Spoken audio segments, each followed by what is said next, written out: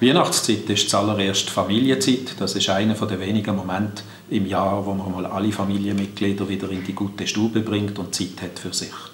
Die Adventszeit ist die geeignete Vorbereitungszeit dafür. Sie stimmt so richtig ein mit diesen schönen warmen Farben.